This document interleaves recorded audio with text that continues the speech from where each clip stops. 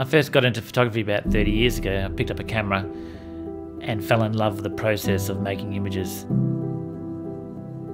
I feel lucky that I was born in Western Australia because I've travelled all over Australia and, and I think here in WA we have the best landscapes and it has so much on offer. What I love is the fact that I managed to make a career out of my hobby, my passion.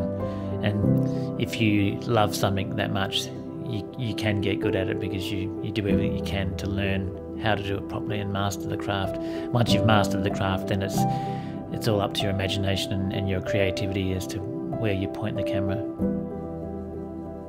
You can get awards for your craft. You can be awarded by your peers as being a great photographer or having the best print for the year or whatever.